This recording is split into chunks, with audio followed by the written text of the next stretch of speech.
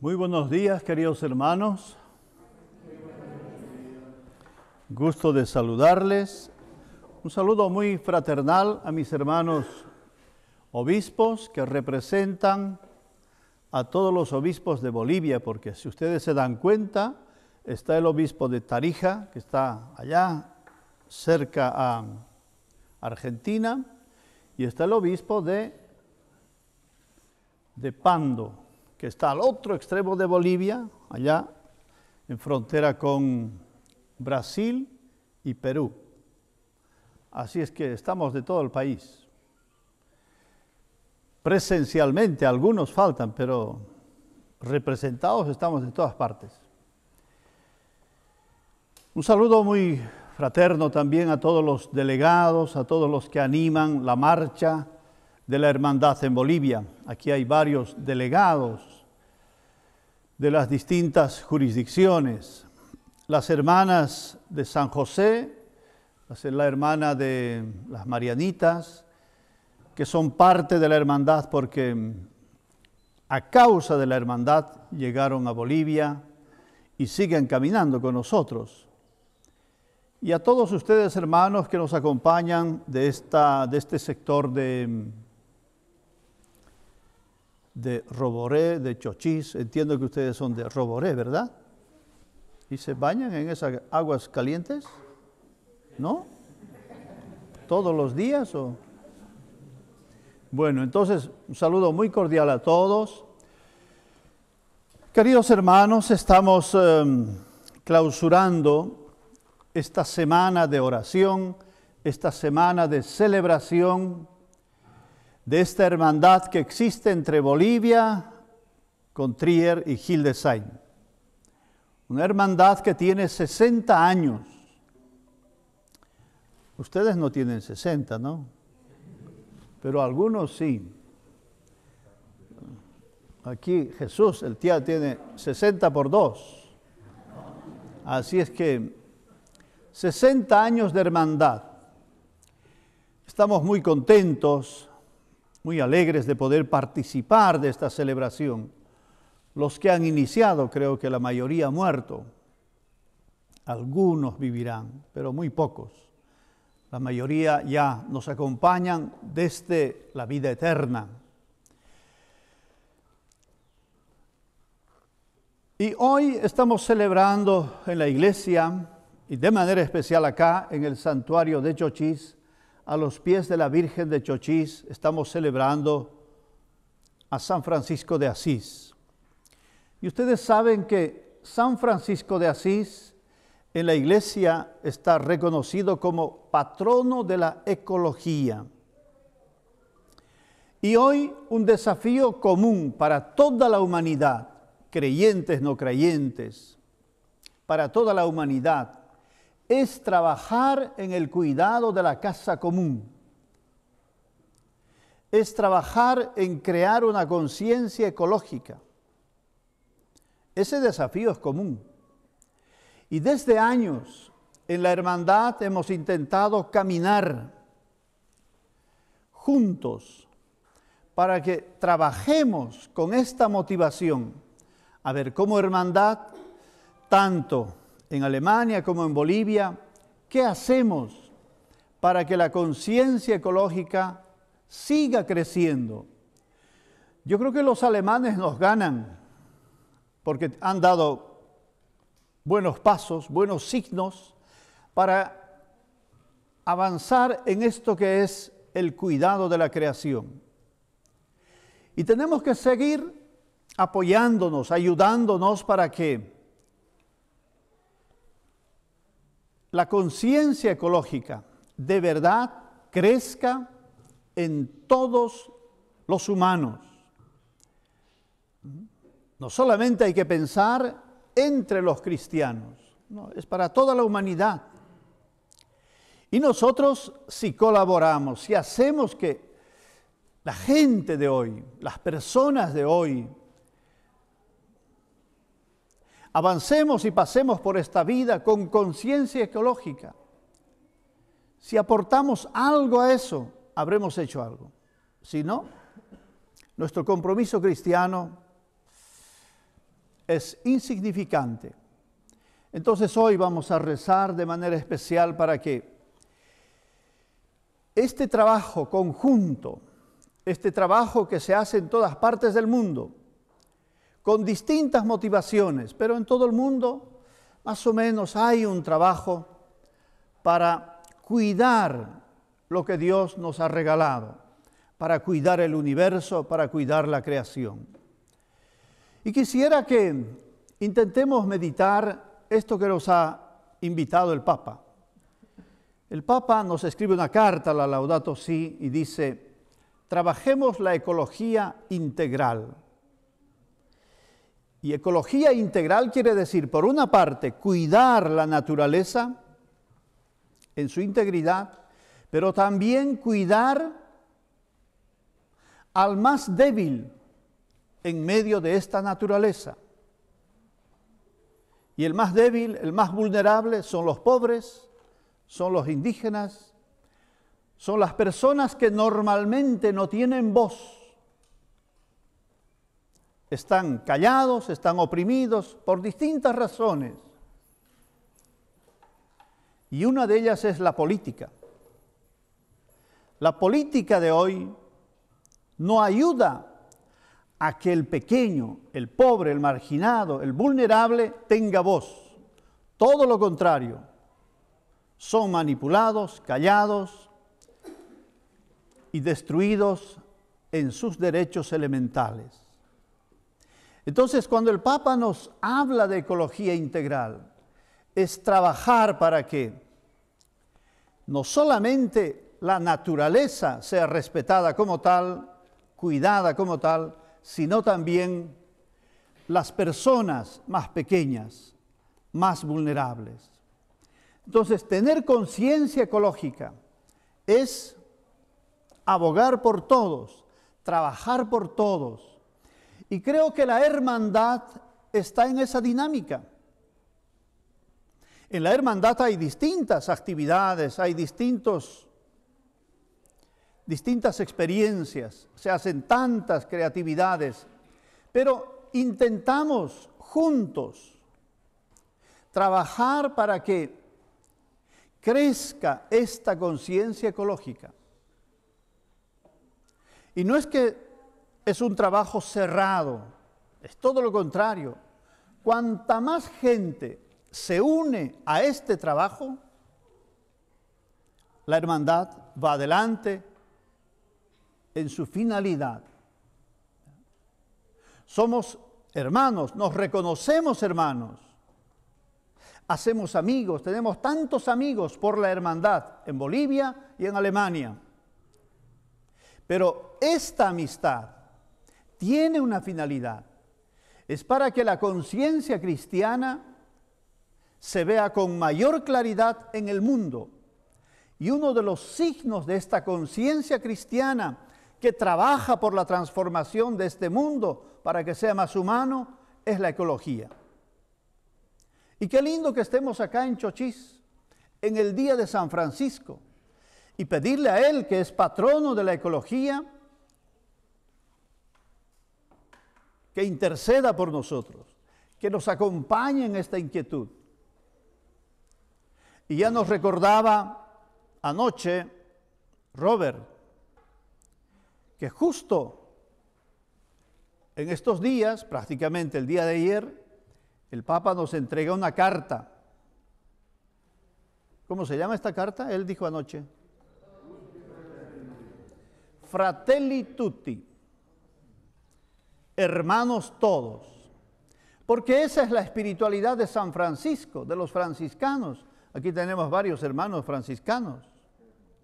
¿Mm? Es la fraternidad universal, la fraternidad entre todos. Y en esta carta nos dice con claridad, si de algo sufre el mundo actual, es de la indiferencia. Es de, hecho, es de este hecho de que solo entre algunos creamos grupos de amigos, grupos de personas cerrados. Y a los demás los dejamos a un lado. Y con la marcha del mundo actual pareciera que a algunos mejor si los eliminamos, porque no cuentan en la sociedad actual. Y lanzar esta espiritualidad de San Francisco quiere decir pensar en todos. Todos somos hermanos, todos somos importantes. Toda persona en este mundo tiene derecho a vivir dignamente. Los derechos humanos no es solo para unos cuantos, es para todos. Nosotros ahora estamos en época o en proceso electoral. Escuchamos de los distintos líderes políticos tantas promesas. Yo digo, ojalá que ninguno haría ni una promesa, porque no hace falta. Lo único que queremos es que sean sinceros, actúen con sinceridad y que se comprometan a respetar la constitución política del Estado que tenemos. Ahí está claramente señalado los derechos que tenemos todos los bolivianos y que se tienen que respetar. Si esto marcha adelante, las condiciones para todos los bolivianos mejorarán. Pero si solamente aplicamos la Constitución en ciertas circunstancias, las cambiamos, las manipulamos para que ciertos grupos vayan adelante y que los otros sigan olvidados, Bolivia seguirá experimentando el subdesarrollo en la mayoría de sus poblaciones. Entonces, cuando hacemos esta hermandad entre Alemania y Bolivia, tratamos de hacer entender a nosotros mismos y al mundo entero que hace falta crear lazos de encuentro, de amistad, de cercanía, de entendimiento. Ustedes recordarán, el Papa siempre nos está hablando de la cultura del encuentro. El hombre actual sufre por el aislamiento. Tenemos tantos medios que nos ayudan a estar conectados, interconectados. Pero lo curioso es que muchas y varias personas sufren de aislamiento, especialmente los jóvenes. Entonces, pidámosle al Señor que nos ilumine, que nos bendiga para que la cultura del encuentro, en esta carta habla el Papa de esta amistad social que nos permita caminar juntos, que estemos fomentando lo que es propio del cristiano, la comunión. No solamente el sentir y el pensar que somos hermanos, sino de verdad actuar como hermanos. No vayamos con el mundo, que es un mundo bastante competitivo. Y para estar adelante, no solamente haces a un lado a tu hermano, sino, si es posible, matas a tu hermano. Ese es nuestro mundo. Y el espíritu cristiano, el espíritu de San Francisco, el espíritu de la hermandad es totalmente distinto. Entonces, recemos para que, si estamos trabajando por un lado por la ecología integral, al mismo tiempo hay que trabajar por la fraternidad universal. Todos estamos llamados a cooperarnos, a ayudarnos. Somos distintos en Bolivia, distintas culturas, oriente, valles, occidente. Pero somos hermanos, somos bolivianos, en el mundo también somos tan distintos, pero estamos llamados a cooperarnos, porque si no, difícilmente trabajaremos para que exista una conciencia ecológica. Entonces a nuestros hermanos alemanes que nos siguen ahora por los medios de comunicación, les mandamos un gran saludo a la iglesia de Hildesheim en la persona de Heiner y a la iglesia de Trier en la persona de Estefan, que son los obispos. Los saludamos y a ver un caluroso aplauso por la hermandad.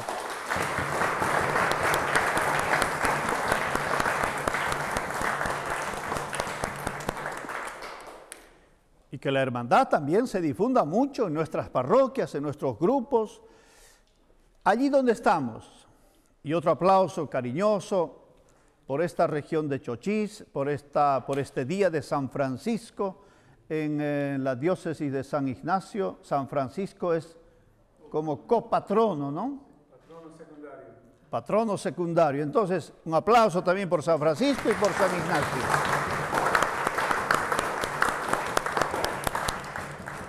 Ya, ya, están bajando la intensidad. Ahora con mayor intensidad a la Virgen de Chochís. Le damos un saludo y un aplauso.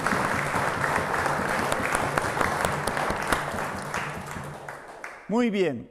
Como esta Eucaristía se celebra a través de los medios juntamente con nuestros hermanos alemanes, entonces vamos a pedirle aquí a nuestro amigo estudiante de alemán, Jesús, un minuto, un saludo para Alemania, nuestra felicidad por estar celebrando. In Deutsch, Caimanta.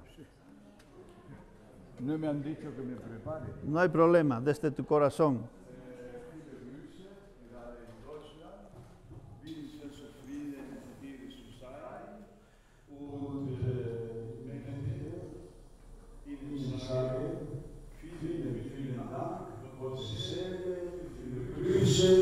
un Pero ahora voy a hablar en castellano. No, es para una cosa más interesante también. A ver, ¿quién de ustedes tiene celular? Levante la mano. Todos. ¿Quién de ustedes saben entrar a Google? Todos. Pues mire, entre y busque esta hermosa palabra. La creación, don de Dios. La carta pastoral que escribimos los obispos en el año 2012. Y dentro de nuestra humildad y sencillez como bolivianos, en esa carta nos adelantamos al Papa Francisco. Hemos sido más avanzados. ¿Por qué? Porque el Papa Francisco en su carta Laudato Si cita la carta de los obispos bolivianos. Lindo, ¿verdad? Y no solamente eso. Si ustedes van al número 100 de esa carta, encontrarán algo que estamos celebrando ya varios años con la hermandad. A ver, ¿quién de ustedes se acuerda qué dice el número 100? ¿Usted que la firmó? Nada, mal. Mire, hay por una cosa linda, celebración todos los años de la, la semana de oración por la creación. ¿Qué estamos haciendo con nuestra partnership? De wir immer zusammen gehen können. Y después, ¿qué hemos hecho en Fuerita? ¿Qué hemos plantado? Dos. ¿De qué color, monseñor? Te han engañado. Porque pues hay morados, como tú dices.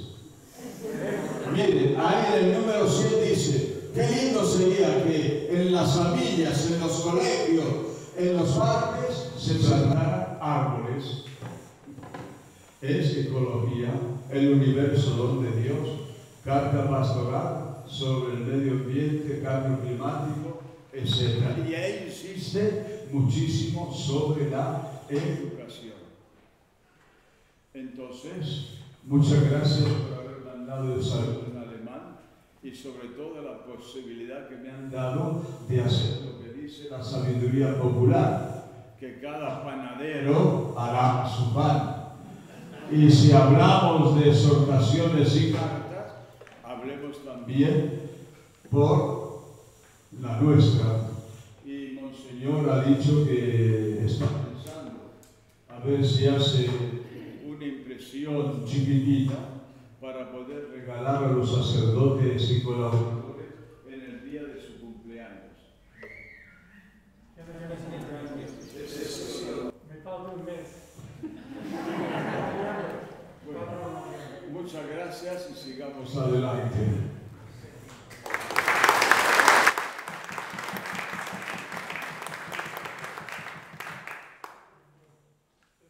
Juntos. Creo en Dios, Padre.